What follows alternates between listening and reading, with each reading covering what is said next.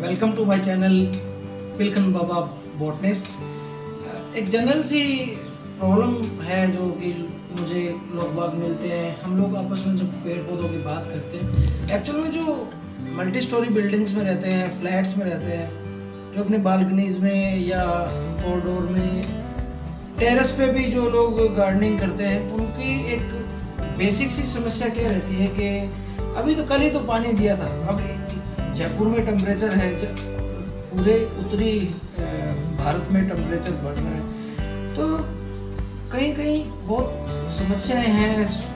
कुछ लोग कहते हैं कि पौधों को इतना पानी मत दो कि वो जल रहे हैं। कुछ कह रहे हैं कि रोज़ पानी दो।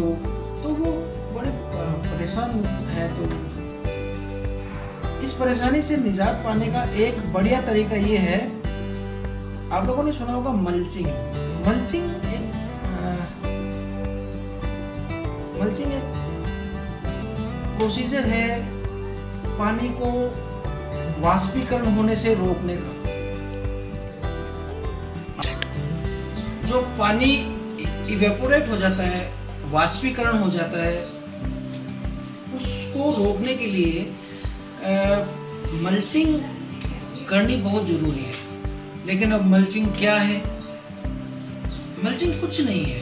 आपकी जो किचन वेस्ट है आपके जो किचन से निकलने वाली जो वेजिटेबल्स की पील्स हैं जो छिलके हैं जैसे आ, आपने मटर की सब्ज़ी बनाई तो मटर के जो छिलके हैं उनको एक दिन थोड़ा छू न्यूज़पेपर पर डाल के थोड़ा सुखा लीजिए उसको फिर उसको बारीक काट के थोड़ा कैंची से बारीक काट के आप उसको एक बार मैं अनंत से कहूँगा कि वो थोड़ा आगे है। आप गमले के अंदर डाल दें लाइक दिस है ना? तो ये ये एक्स्ट्रा वाटर जो होगा, जो मॉइस्चर होगा, उसको वेस्ट नहीं होने देगा।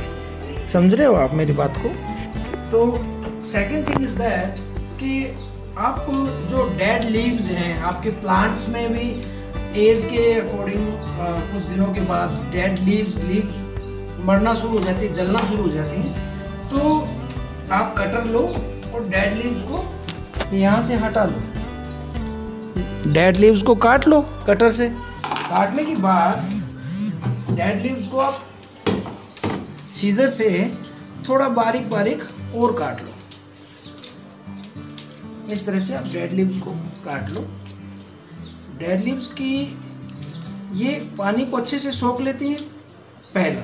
दूसरा डेड लीव्स जो हैं आपके धूप से जो गर्मी से जो पानी का उड़ना जो है, वाष्पीकरण है जो, उसको ये कहीं ना कहीं रोकता है। तो जहाँ पानी आप एक दिन में, रोज दो दिन में पानी दे रहे हो, एक बार भरपूर पानी देने के बाद अगर अच्छे से मल्चिंग हुई है पौधे की, अच्छे से घास फूस आपने डाला है तो तीन चार दिन मैं तो कहता हूँ कि, चार पाँच दिन भी पौधों को पानी देने की ज़रूरत महसूस नहीं होगी।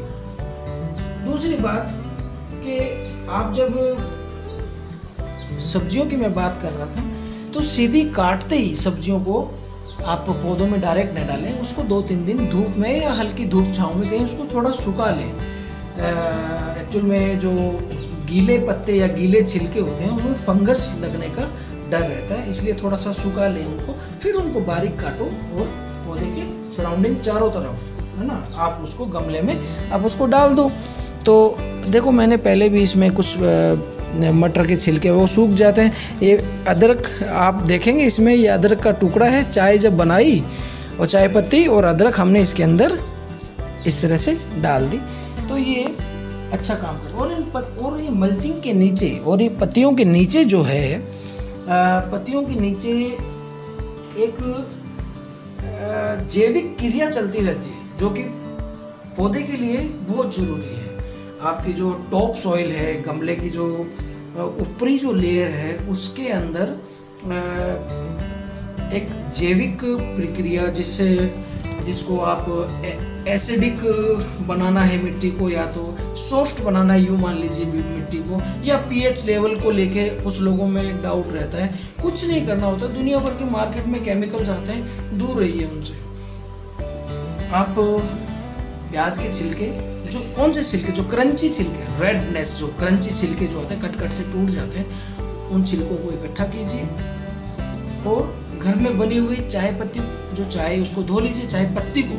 लीफ जो पत्ती है, दाने जो हैं, उसको चाय बनने के बाद अच्छे से धो लीजिए, उसमें से जो शुगर है वो निकल जाए, दूध जो डाला वो निकल जाए, फिर उसको न्यूज़पेपर पे डालिए, एक दिन, दो दिन सुखाइए और ग्राइंडर में डाल के मिक्सी में डाल के आप उसका बिल्कुल पाउडर बनाओ, प्याज के छिलकों के साथ और डाल दीजिए। देखिए नाइट्रोजन की कमी कैसे पूर होती कमी कितनी दूर होती है नाइट्रोजन की पूर्ति बहुत जल्दी। बहुत ही जल्दी। और पीएच लेवल देखिएगा, मिट्टी का कितना स्ट्रॉन्ग जाता है। आज के लिए इतना ही, काफ़ी है। Thank you very much